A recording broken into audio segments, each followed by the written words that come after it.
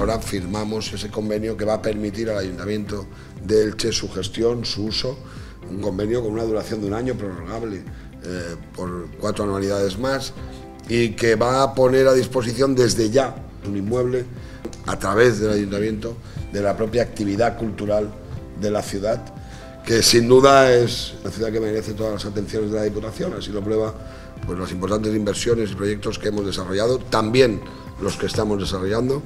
Estamos iniciando ya ese proceso para que el centro de congresos sea una realidad. Estamos hablando de decenas de millones de euros que la Diputación está invirtiendo en el municipio de Elche. Y esto no tiene precedentes.